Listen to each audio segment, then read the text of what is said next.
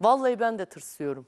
Kızıyor musunuz? Ben, ben ne, olduğunu, Tırsıyorum. ne olduğunu tahmin ediyorum Vallahi yapay zekayla. tırsıyorum. Billahi tırsıyorum. Bu arada Hollanda'da ilk Bu iş dava nereye gidiyor? ilk dava açıldı. Yapay zeka ile yeni bir televizyon sunucusuyla uygunsuz görüntülerini birleştiler. ve Tövbe Hollanda yarabbim. ilk davayı açtı. Ya- Tahminen Bak yapay neler zekadan yapıyorlar o yapay bahsettik. zekayla Masum Hocam. Bir, şimdi ben bir video izleteceğim. Böyle şoklarını yaşayacaksın. Şoke olacaksın. Türkçeyi doğru konuşayım. Şoke olacaksın. Yani yapay zekadan sen de mi yararlanıyorsun? ya bak be- benim de e, bir vi- videomu hazırladı arkadaşlar. Ama var ya ayrıca bugün niye bu konuyu şimdi işliyoruz biliyor musunuz? Gerçekten sosyal medyada her gördüğünüze, her e, dinlediğinize inanmayın. Aynı zamanda sizi telefonla da bu yapay zeka teknolojisiyle kandırabilirler. Ki e, bugün MIT'in çok önemli bir operasyonu oldu.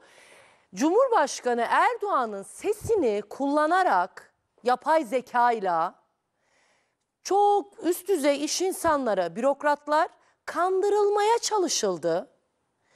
Bayağı sanki Erdoğan Sayın Cumhurbaşkanı arıyor gibi aynı onun sesi. Ve bu olay e, MIT'in de takibindeydi. O şahıs bugün operasyonla yakalandı. Şimdi ben daha iyi anlamanız için acayip bir yere gidiyor bu yapay zeka olayı. Bakın yani insanlar böyle bayağı üst düzey insanlar, bürokratlar falan işletildi yani e, kandırılıyordu. Şimdi o sesi verelim mi Ceyda? Cumhurbaşkanı Erdoğan'ın sesini... Aziz milletim Bak, sizleri sevgiyle Bak, ve çok iyi saygıyla selamlıyorum. Yeni yılın hepinize Evet, bu sağlık, görüntü. mutluluk ve para getirmesini diliyorum. Aslında bakarsanız ben Recep Tayyip Erdoğan değilim. Pay zeka ile seslendiriliyor. Bu sebepten dolayı artık her gördüğünüzü ve duyduğunuzu iki kere sorgulayabilirsiniz. Teknolojik gelişmeler doğru Bakar yolda mısın ya? kullanılırsa büyük farklar yaratabilir.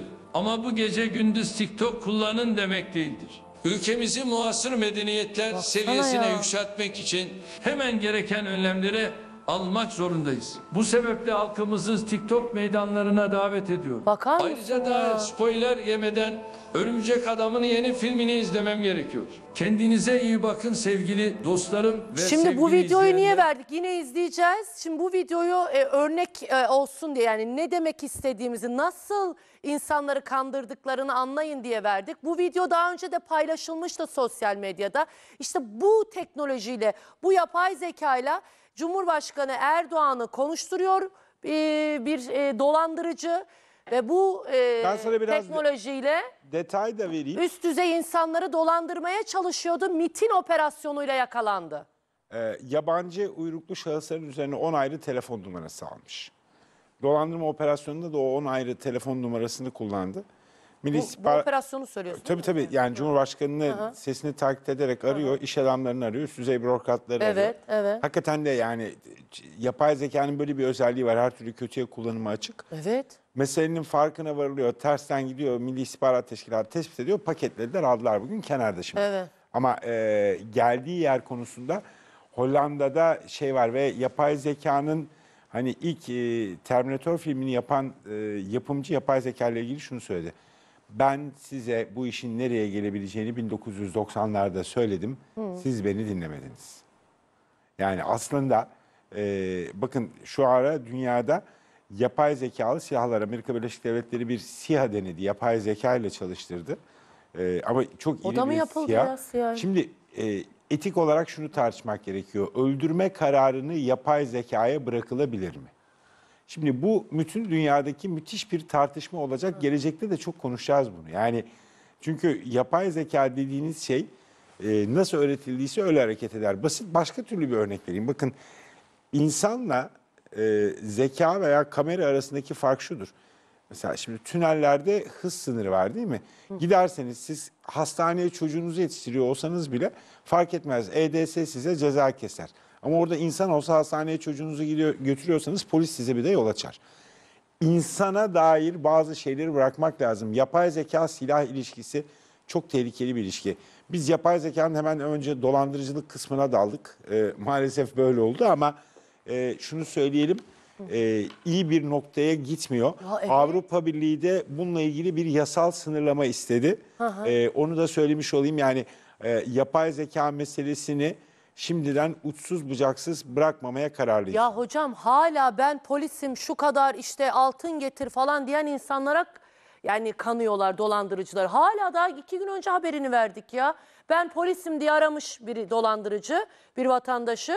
İşte bayağı mücevherler altınlar paralar ya vatandaş bunlara inanıyor.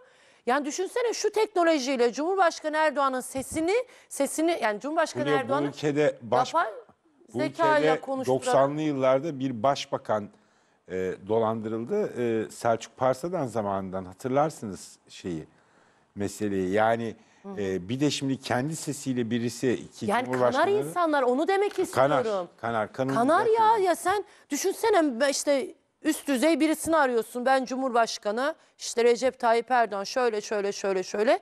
Hani düşünsene yapay zeka al yapmışlar bir daha ver.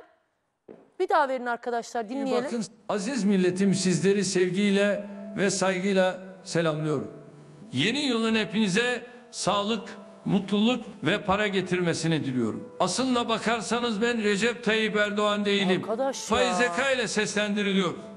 Bu sebepten Allah dolayı korusun artık her gördüğünüzü ve duyduğunuzu iki kere sorgulayabilirsiniz. Teknolojik gelişmeler doğru yolda kullanılırsa büyük farklar yaratabilir. Ama bu gece gündüz TikTok kullanın demek değildir. Ülkemizi muasır medeniyetler seviyesine yükseltmek için hemen gereken önlemleri almak zorundayız. Bu sebeple halkımızı TikTok meydanlarına davet ediyorum. Ayrıca daha spoiler yemeden Örümcek Adam'ın yeni filmini izlemem gerekiyor. Kendinize iyi bakın sevgili dostlarım ve sevgili izleyenler. Vallahi billahi yani Ali Murat Kırık, Ali Murat hocam ya bu iş nereye gidiyor, bu dünya nereye gidiyor? MIT büyük bir operasyon düzenledi, E, çok güzel ama yani bu olay başka bir boyuta taşınır, daha çok insan kandırılabilir. Bu yayınımızı iyi izleyin, iyi dinleyin. Sevgili izleyicilerimiz, dinleyicilerimiz, her duyduğunuza, gördüğünüze inanmayın. Yapay zeka denilen şeyle Cumhurbaşkanı Erdoğan'ı da böyle konuşturdular işte yani. İzlettik size. Ali Murat Hocam beni de konuşturtmuşsunuz bu arada. Evet, evet. Ben evet, onu da evet, dinlemek aynen. istiyorum. Ben tam dinleyemedim onu. Aha, İnşallah arkadaşlar rejiden verirlerse onu da seyrederiz. Özenirdim o zaman. Elimde bir deodorant şişesi. Ama hiç hep böyle böyle mücadeleyle. Böyle Bak, tırnaklarımla gerçekten. Bak, nasıl hep de diyorum iyi ki bu mesleği yapmışım. Benim al- Özenirdim o zaman. Elimde bir deodorant şişesi. Ama hiç Ama hep gerçekten böyle böyle mücadeleyle. yani. Hocam bu biraz Böyle uyduruk olmuş tırnaklarımla ama gerçekten. hep de diyorum iyi ki bu mesleği yapmışım. Vallahi Bu az önceki kadar profesyonel değil yani. Bu böyle biraz 5 sallapati dakikada bu olmuş. kadar Filyacığım. Ha? E ne yapalım yani? E, 5 hızlı. dakikada o kadar. E, Ben bunu görsem yemezdim ama yani. E sen kendini Ama- bari sen kanma Fulya sen ama Yani sizin, ama baş- sizin fan, fancılarınız yer. Yemezler ya bunu. Kim yer bunu ya? Hadi derim ya ne yapay zekası. Ama az önceki mesela Sayın Erdoğan'ın o yapay zeka ile konuştukları ya abi inanılmaz şey ya. Yani gerçek gibi. Evet Ali Murat hocam bu iş nasıl böyle oluyor? Nereye gidiyor bu iş? Şimdi evet yapay zeka aslında ses klonlaması son dönemlerde giderek yaygınlaştı. Bir kişinin ya da bir karakterin işte sesini kullanarak onların benzeri bir ses üretmeyi amaçlayan bir teknoloji. Ve bu konuşma sentezi text to speech dediğimiz TTS ve konuşma tanıma dediğimiz speech recognition teknolojinin bir kombinasyonunu içeriyor. Temel olarak baktığımızda bir kişinin ya da bir karakterin sesini kaydederek veya metin tabanlı bir girdiyle sisteme besleyerek bu sesi taklit edebiliyor ve taklit bir ses üretebiliyor. Ve yapay zeka ses klonlama sistemlerine baktığımızda genellikle büyük ölçüde eğitimli modellerle çalışıyor. Bu modeller e, gerçek insan seslerinden ve konuşmalarından öğrenilmiş ses özelliklerini ve dil desenlerini içeriyor ve bu model özellikle verilen metni ya da girdiği analiz ediyor. Ardından metni doğal bir insan sesiyle benzer bir şekilde konuşma olarak üretiyor. Hatta arkadaşlardan bir ricam olacak. Bir tane e, hazırladığımız bir grafik söz konusu. O grafiği verirlerse onun üzerinden çok daha iyi bir şekilde Verelim anlamış hocam. olacağız. Evet aynen öyle daha iyi olur. Hocam siz benim o videoyu 5 dakikada yapmışsınız. Evet aynen öyle kesinlikle 5 dakikalık yani E bu bir bu video. kadar kolay Yani bir şey yani ha öyle Ya mi? işte bunu Ben zaten biraz da onun için zaten bunu aktardım. Yani 5 dakikada çok kolay bir şekilde evet çok profesyonel yapamıyor biliyoruz ama şurada da böyle bir avantajımız söz konusu. Yani sonuçta Hülya Öztürk sürekli ekranda bilindiği için e, dolayısıyla insanların ilk gördüklerinde hemen gözü bir şekilde anlayacaktır. Ama sizi arasalar, Recep Tayyip Erdoğan'ın ben deseler, onun sesiyle bir şekilde taklit gerçekleştirseler, siz belki de telefonla hayatınızda bir bile Recep Tayyip Erdoğan'la konuşmadınız. Ya miting meydanlarında gördünüz ya da nerede gördünüz işte ekranda, televizyonda ya da sosyal medyada videolarda gördünüz. Dolayısıyla insanların burada inanması son derece doğal ki telefon sesinde Hocam deformasyon Arkadaşlar o şu grafiğe gelmeden önce Sayın Erdoğan'ın o yapay zeka ile o videoyu bir daha bir, en azından 10-15 saniye verin. Arkadaşlar şunu kim duysa inanır kanar yer yani bunu. Netim. Aziz milletim Bak, verin. sizleri sevgiyle ve Kim saygıyla bilir ya yapay zeka selamlıyorum. falan diye kimse düşünmez Yeni yılın ki. hepinize sağlık, mutluluk Koca ve para koca getirmesini bürokratları diliyorum. dolandırmaya Aslında çalışıyorlar. bakarsanız ben Recep Tayyip Erdoğan Bürokratlardan değilim. ne istiyorlar? Faiz Para mı zeka ile istiyorlar? Evet evet. Bu sebepten dolayı artık her gördüğünüzü hocam? ve Şimdi seni arasalar duyduğunuzu böyle. iki kere Kanmaz sorgulayabilirsiniz. mısın? Teknolojik gelişmeler doğru yolda kullanılırsa büyük farklar Bakanım, emin yaratabilir. olun. Ama bu Asım gece de gündüz aynı TikTok kullanın Sayın demek Bakanım, değildir. lütfen efendim. Ülkemizi muasır medeniyetler Hocam şunu seviyesine her- yükseltmek için hemen gereken yani. Almak zorundayız. Bu sebeple halkımızı TikTok meydanlarına davet ediyorum. Ayrıca daha spoiler yemeden... Mahsum hocam diyor ki ben kanmam dedi. Yok kesinlikle. Beni beni beni beni dolandırıcılar arıyor. Ee, te- şu, e, Ben polisim, altın getir ben dediler mi? polisim, terör listesine tamam diyorum ve telefonu ya sizi de mi aradılar tabii, gerçekten? tabii, tabii canım ben ben Beni hiç aramadılar ya. korumama söyleyeyim seninle diyalog kursun der demez adam küfürü sallayıp telefonu Pat diye kapattı. Tabii canım yani. Valla beni hiç aramadılar ha. Ya Sayın Ama aramasın da kimse öyle. Ya şimdi bak- bakın. ya Siz hiç bu aradılar mı ülkede- bakın bunun için Ciddi misin? yapıyorlar. Beni hiç aramadı. Dediler herhalde bu Bu- Adanalı bunu- biz bunu- buna bulaşmayalım falan mı dediler? Ne bununla dediler? kimi ararlar? Doğru iş çevirmeyeni ararlar. Farklı yerden para alanı ararlar. Ama peki bunu nasıl tespit ediyor? İşte aradıkça tutturmaya çalışırlar. Bir de yaşlıları ararlar. Yaşlıları korkuturlar. Belli bir ilçede e, kimsesi olmayanları ararlar. Aslında tabii bunda e, devletin de e, ciddi bir telefon şirketleriyle bu verilen telefonlar konusunda bağlantı kurması gerekir. Her önüne gelen istediği numarayı alabiliyorsa ve o numarayı farklı insanlar iş adına artık. alıyorsa Bakın, Can- bunlar O olacak yani. artık Bakanım, hocam. bir şey Herkesin söyleyeyim mi? telefonu artık.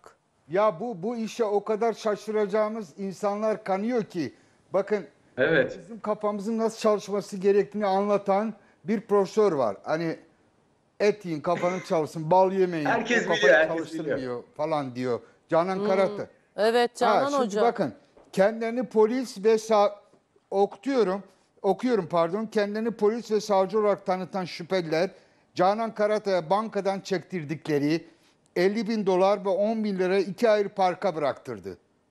Buyurun. Evet. Oldu bu da oldu. Sonra polis yakalıyor. Buyurun. Hocam bir sürü Yani profesör e, 2013'te. kandı düştü bu işe yani. Yani yani Canan Hanım Canan Demek ki Hanım yapay dinleyelim, zekanın öğreneceği kafamız çok şey nasıl var. çalışsın diye hani anlatıyor bize sürekli. Bunun karşılığı Ama o bile bu. kandı yani. Demek ki bal yemek lazım arada bir. Sayın Bakanım çok büyük konuşmayın ne olur ne olmaz. Sayın Bakanım aynen. önemli değil ya. Ha? Ar- Arıyorlar zaten ya. Sohbet edip kapatıyormuş. Ar- arıyorlar. Ne, neyimiz var ya? Yani alt tarafı. Ama şey telefonda var ya hipnoz ediyorlarmış ha Masum Hocam. Evet. Bilmiyorum neyse o bir taktik varmış yani. Hipnoz ediyorlarmış seni. Allah korusun aman gelmesin bize. Efendim bugün CNN halkımıza Enerji büyük mi bir gönderiyor? faydalı iş yapıyor. Evet. Gündüz de Sayın Hocamız yine çıktı konuştu gündüz programlarında. Sıkı bir CNN izleyicisiniz Özellikle hocam. CNN belli izleyicileri oldu burada. efendim Sıkı bir CNN izleyicisiniz. e, CNN'deyiz. Türker. Doğru adrestesiniz hocam. Hocam evet